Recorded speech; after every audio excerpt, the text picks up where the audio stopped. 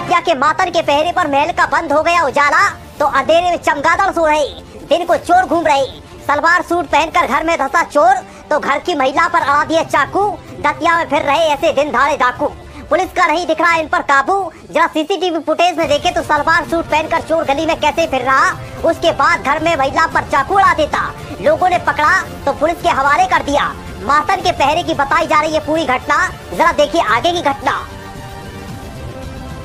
जरा देखिए, चोर का महिलाओं के कपड़े पहनकर चोरी करने का अंदाज और घरों में घुसकर महिलाओं को लूटने का मिजाज।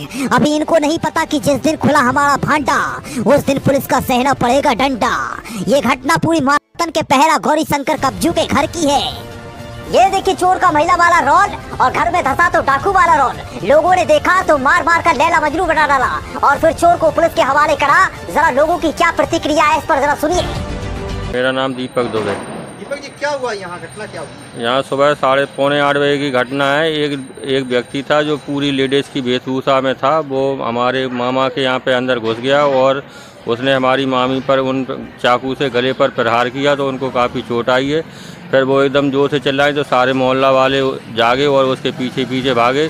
आगे तलैया मोहल्ले में जाके उसको पकड़ लिया और फिर उसको पुलिस के हवाले कर दिया। क्या करने आया था? पूछा था? अब पूछा तो उसने इतना ही बताया वो नशे में लगता था जैसे नशा किए हो तो इतना ही उसने बताया अपना नाम ग्वालियर का मैं ग्वालियर का हूँ और कोई विशेष जानकारी उसने दी नहीं फिर।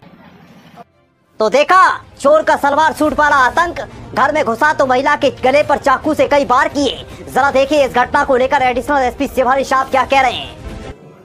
हाँ उस संबंध में थाना कोतवाली में एफआईआर की गई है और उसको आपराधिक रिकॉर्ड भी देखा जा रहा है कौन है क्या, क्योंकि शुरू में उसने अपना नाम पता गलत बताया था। उसका नाम पता भी सही पता चल गया है ओरिजिनल संबंधित थाने से और अन्य जगहों से और उससे भी पूछताछ की जा रही है कहाँ कहाँ उसने किस प्रकार किस प्रकार चोरी के लिए घुसा था। लेकिन जो महिला ने पकड़ लिया तो उसके साथ उसने बलपूर्वक बल मतलब बल प्रयोग किया था, जिसके आधार पर थाना कोतवाली में एफ़ कर उसको गिरफ़्तार कर लिया गया। माननीय न्यायालय पेश किया जाएगा।